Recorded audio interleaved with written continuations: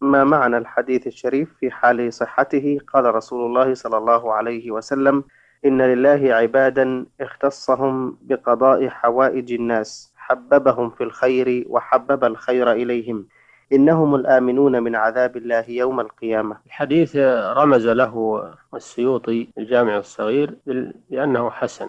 نعم. لأنه حسن حديث حسن. ومعناه واضح أن الله سبحانه وتعالى اختص بعض الناس بقضاء حوائج المحتاجين واختصهم بأن مكنهم من قضاء حوائج الناس بمالهم وبجاههم وبعلمهم. وهذا فضل الله يؤتيه من يشاء من عباده. وهؤلاء العباد الذين اختصهم الله بهذه الخاصية المراد حال وجودهم في الحياة الدنيا ومع الناس لا بعد وفاتهم كما يظن المخرفون الذين يتعلقون بالأموات والله أعلم. أحسن الله إليكم.